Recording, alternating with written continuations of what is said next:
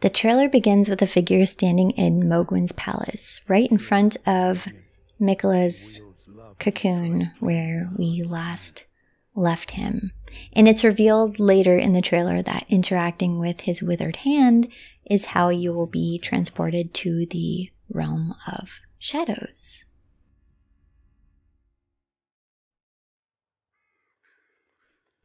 This first new location that we see in the trailer immediately reminded me of a spot in Liurnia on the North Shore where you can see Raya Lucaria in the center, and then you can see a belfry, and then you see the Cathedral of Manus Celes. And that is kind of what I saw in the trailer here. Even this arc on this little pillar kind of looks like the same ones they have in Raya Lucaria. So I'm not sure if it's related in any way, but I just thought the placement of the building, you can even see the bridge here, the belfry, and then the Cathedral Manus Celes, which looks a lot like the one in this image to me. I just thought the, the placement of those three buildings was very, um, it just felt very familiar. You'll also notice hundreds of these ghostly little headstones, and these are much like the ghostly apparitions you see in the game that are supposed to signify of what used to be. And so this might this might mean that there was um, a lot of death has happened here.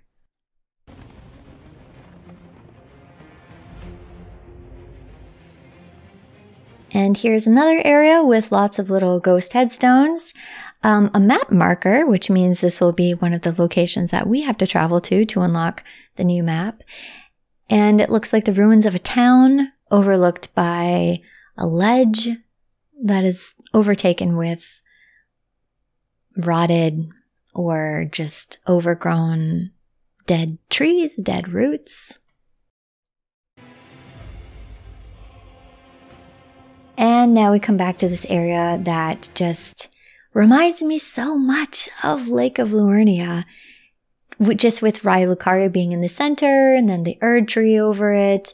And then you have all the little buildings overlooking at this area down here. Reminds me of the Gate Town ruins. Uh, you have the little building that looks like the cathedral over here. So I know that this is just a new area, but the fact that it looks so familiar is just a testament to how well they succeeded in making a completely new map that feels like it has always been a part of the first one. In an IGN interview with Miyazaki about the trailer, he states that the player will be following in the footsteps of Miquella into the Land of Shadow, trying to see what he's going to do there.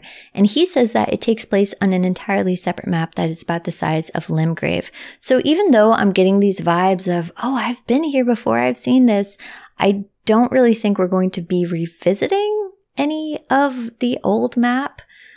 But I am not shutting down the possibility that this looks familiar because it's sort of an alternate reality version of what we do see. So maybe this is just another way the world could have gone here in this shadow realm.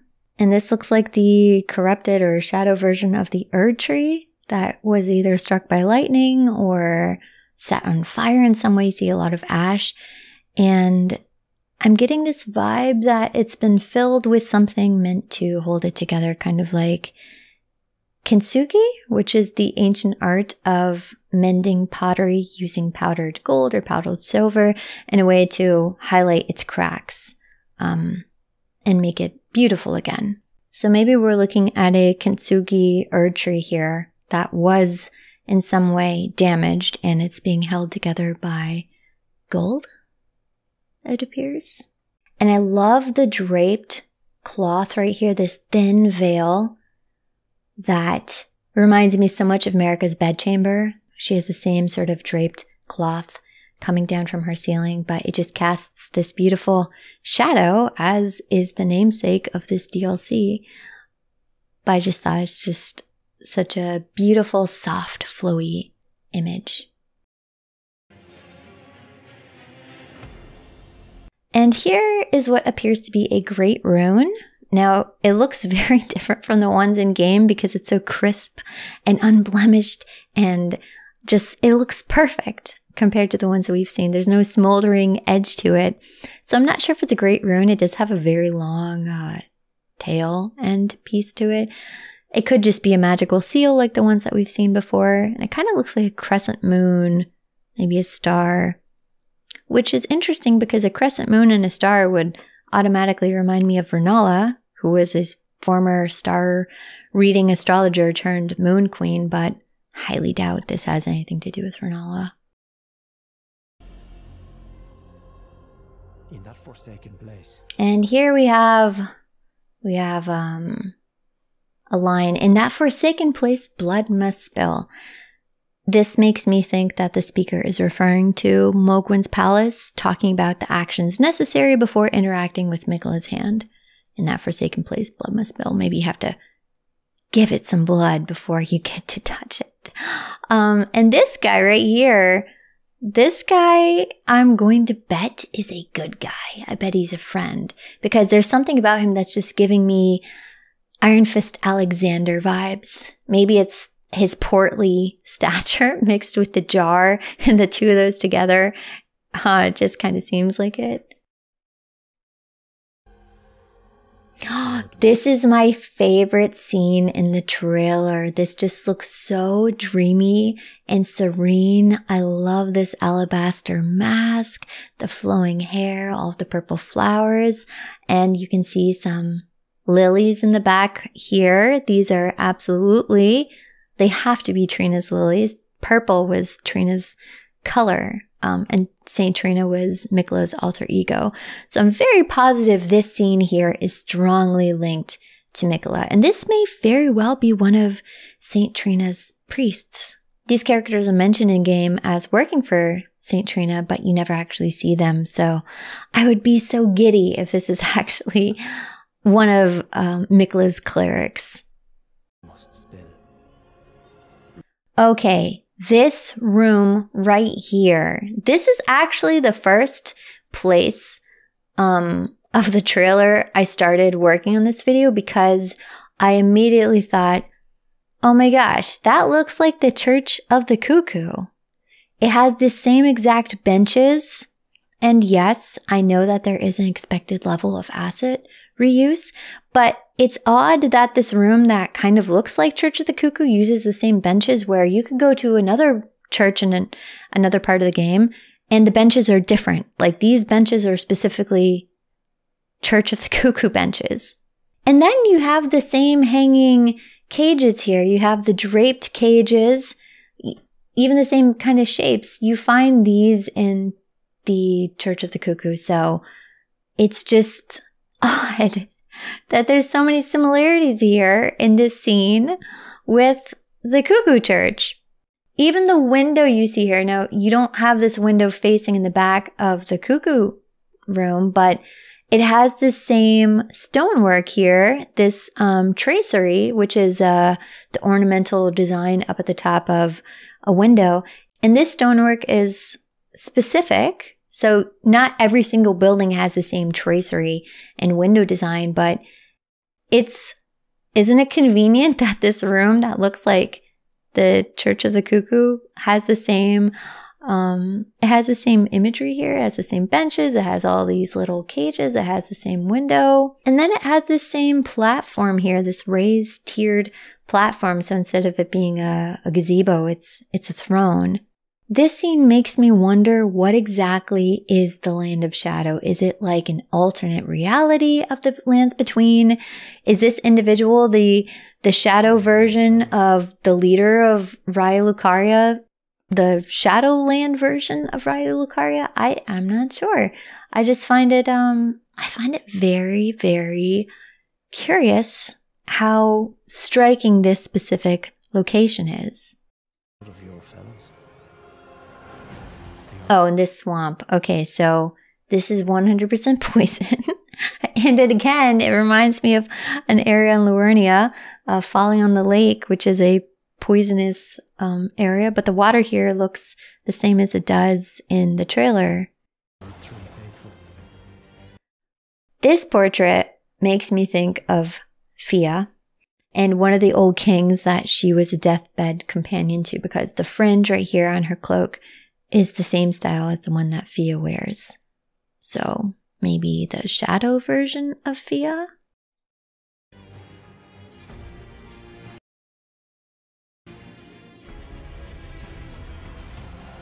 This area is giving off Farum Azula vibes, right? Just the structure, the build, maybe it's the building just crumpling into the sky or falling into the sky. maybe this is like, maybe it fell up. If it is kind of like an upside down world type situation. Here it looks like there's some blight. You have um closer view of the the ashy Erd tree. Now these spirals, um, I could have sworn I found them in game before, but I couldn't find them again. So I'm not sure if I've seen these spirals before or not, but yeah, this is going to be uh, one of the main areas for sure. This guy, basket guy. Okay, Miyazaki actually had a lot to say about this basket guy that you wouldn't think he'd share so many details. Okay, so he says this giant basket of flame was a terrible weapon you used in a war that occurred in the land of shadow. It was a really gruesome weapon that was used. And the kindling that you see is actually the remains of bodies that were put in there to burn. And indeed, yes, you can see all these little appendages, all these little arms, the many, um, the many people that served as kindling for this weapon basket. This is going to be like the fire giant all over again. And I wonder if this line here, they just happen to be on the losing side of a war, really correlates, sadly, to all of the people that you see in this basket man. Oh, here we have a horrible new creature to be afraid of. this guy. Okay, so we need to look at this boss slowly because there's a lot there's a lot going on here. Here we have a hand clamping shut the lower jaw, a pair of teeth within a pair of teeth, a human foot, a lion's head, loose skin hanging over what looks to be multiple figures underneath. We have a leg here, a foot here, lots of horns, which are aspects of the crucible. And the teeth look like misbegotten teeth to me. They just look so uncanny and disturbing. It certainly doesn't look well, whatever is going on here. And this lion's head, perhaps, is this Serosh's discarded corpse? Did some weirdos find his skin and decide to wear it? This, it, it's giving off Ludwig vibes from Bloodborne. And this looks like Deathblight. And then we see a pair of legs sitting on top of another person. This boss really reminded me of those Chinese lion costumes that are operated by multiple people that you see in parades.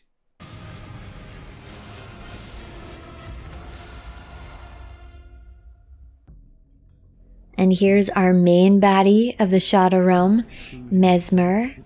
Now, this incantation that he uses looks like a mixture of death, blight, um, blood, fire.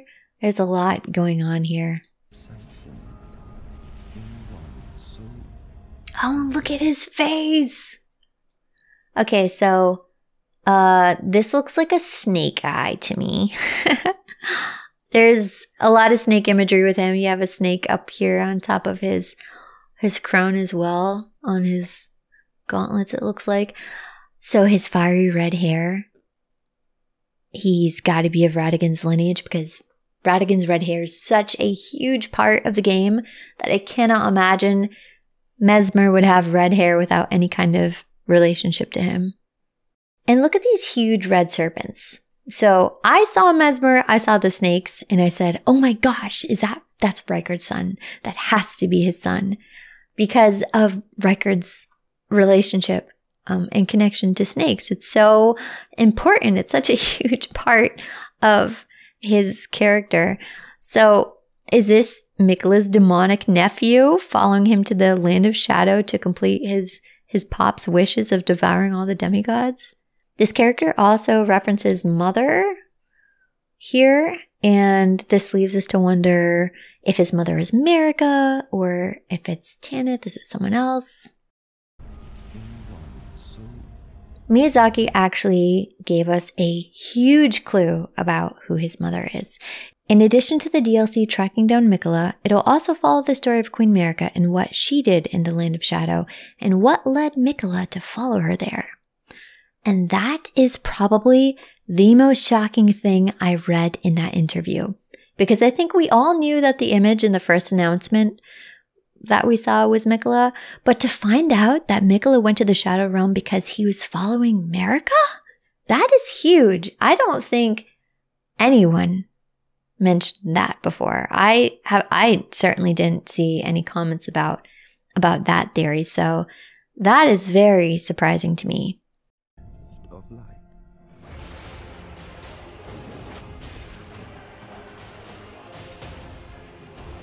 Okay, this spell right here caught my eye because of all the butterflies. It's a pretty looking spell, but butterflies are so heavily linked to Malenia um, and they're also a very significant item in the game as well, relating to Miquella and Malenia. So I am betting this spell involves one of Miquella's enchantments. And it kind of looks like it produces a mass mind control effect, similar to the bewitching branch that Miquella created. Okay.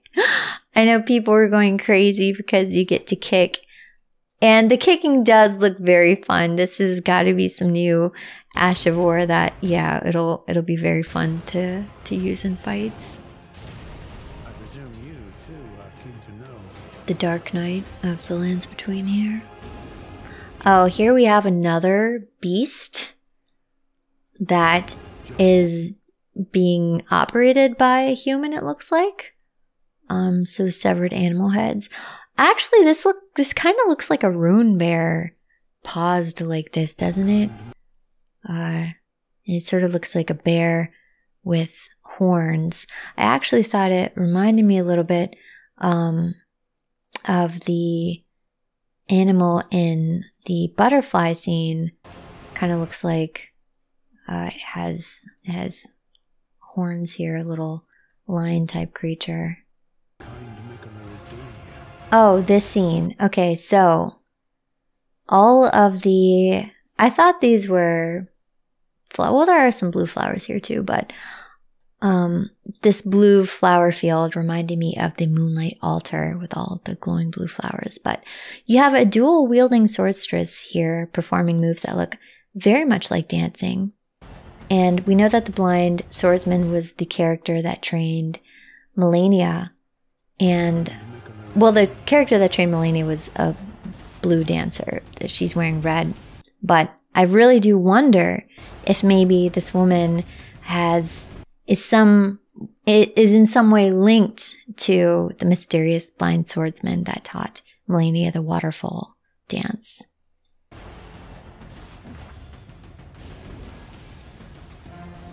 And yes, here's our hippo slash alligator with fur um, that uses some sort of Aeonian bloom of thorns. This is going to be a really fun boss.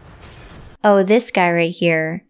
So this area looks like the subterranean level to me. This even looks like the same cavern that you fight Astel in with the purple. But this skeleton guy is odd. It kind of looks like he has a bubble for a head. Now, we have seen giant skeleton figures in the game before, and I wonder if he's going to be related to them in some way, or if he's going to have a. He's going to be an extra clue about what the skeleton beings might have been. And yes, do you remember this guy from the portrait we saw earlier? He has the same seal as the king and he is absolutely going to pull out his spine and use as a weapon because this universe is just so deranged.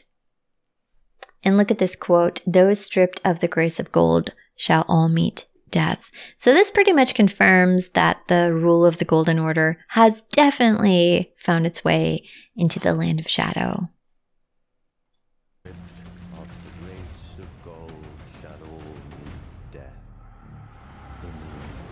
Oh, this move right here that he does where he presses down his spear and makes multiple spears come up. So yeah, uh, the spears weren't there. He definitely enchants them. You see? And bam. That looks exactly like the secret phalanx move that the clean Cleanrot Knights use, where they conjure up spears that come up from the ground.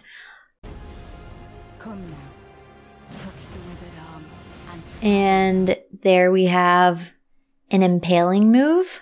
Um, he is called Messmer the Impaler. Also, Malenia and her Cleanrot Knights, they also were fans of impaling. so we just keep drawing up the connections between um, Messmer and his possible siblings and or parents. Oh, this is the this is the aspect of the crucible wings that people were freaking out about because in game only the crucible knights could attack with this move and it just wasn't locked people had modded it in the game, but it wasn't available. So now it's officially available for everyone to use. And I think they definitely saved this part of the trailer for last because they knew people would freak out about it. Meet again.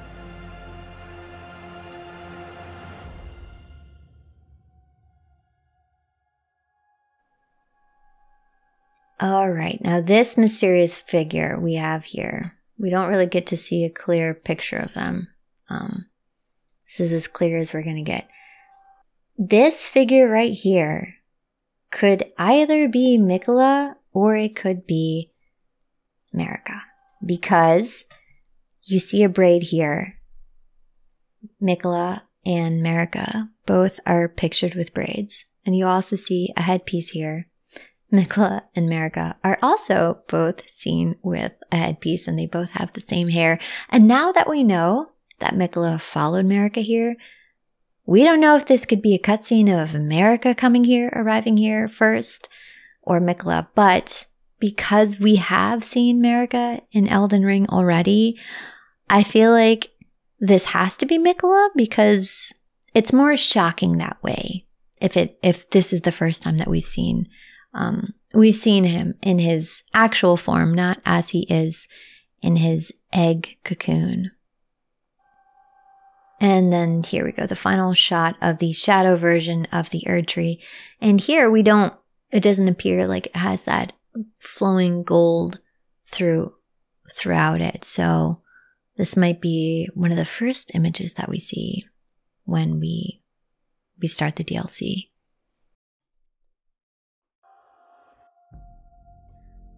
All right, so this throne that Messmer is sitting in, this art, Miyazaki actually said something, a very big clue about it. It's supposed to symbolize that Messmer stands on equal footing to these other demigods and children of Marika who sat around in these thrones and held the runes of the Erdtree. So he is an important figure who rivals these other demigods. And as you play the DLC, you will learn a little about why he wasn't featured in the legends of the Erdtree, the lands between. You'll realize why he exists in this shadow, this land of shadow. All right, this figure of him looks so much like the Cleanrot Knights. They have the same exact hunch, even the way that they're holding the spear so this really, really, it's weird, but he's like a mixture of Malenia and Rykard. And here is where the twisted theory comes into place. So you gotta wonder why he wasn't featured in the Legends of the Erdtree and the Lands Between. And I'm thinking he was uh, the product the product of a great sin, possibly incestuous. We it's not too far fetched. I mean, we're already kind of there with Marika and Radagon, you know, in a way. So I'm wondering if he is the product of incest between either Malenia and Rykard or Marika and Rykard because I cannot get over the snakes. The snakes are there for a reason. And Rykard is so, he is so heavily linked to snakes that he has to, in some way, be related to Rykard. But he looks so much like Malenia with her move set.